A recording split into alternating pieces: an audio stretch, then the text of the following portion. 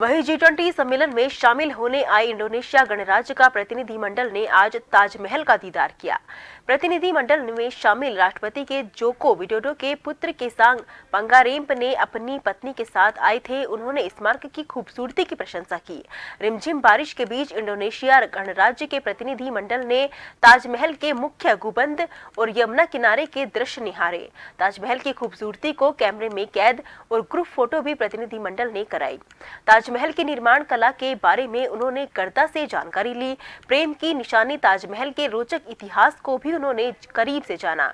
एक घंटे तक ताजमहल का भ्रमण भ्रमण करने के बाद प्रतिनिधि मंडल दिल्ली के लिए रवाना हो गया। इंडोनेशिया के राष्ट्रपति जोको विडोडो के बेटे केसांग पंगारेप एक उद्यमी के साथ साथ एक यूट्यूबर भी है।